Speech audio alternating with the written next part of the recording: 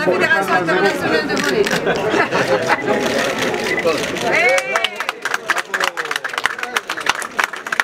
D'un long processus qui a commencé il y a un an et pour lequel ensemble en ce moment historique de la vie المغرب منذ سنوات ويسجل اهداف على مستوى الدبلوماسية الرياضيه اليوم تعززت بتدشين واحد المقر جديد الآن المسؤولية أكبر عليك انت ملقات عليك باش تجر الاتحاد الإفريقي لكرة الطائرة. اش تقول للناس؟